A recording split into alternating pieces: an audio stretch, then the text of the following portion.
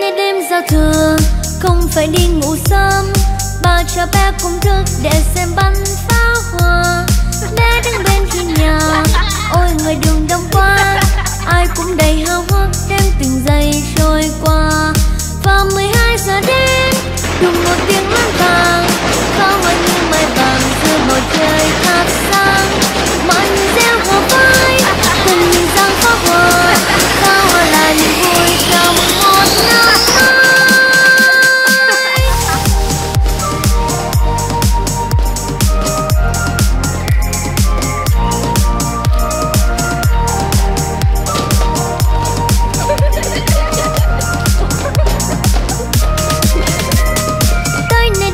trưa không phải đi ngủ sớm, ba cho bé cũng thức để xem bắn phá.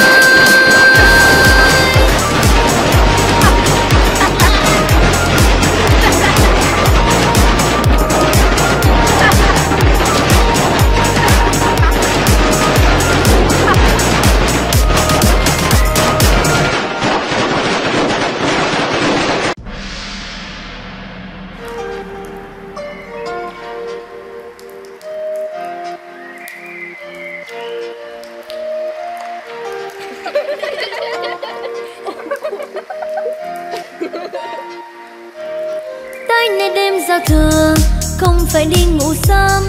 Ba cho bé cũng thức để xem bắn pháo hoa. Bé đứng bên khi nhà, ôi người đường đông quá. Ai cũng đầy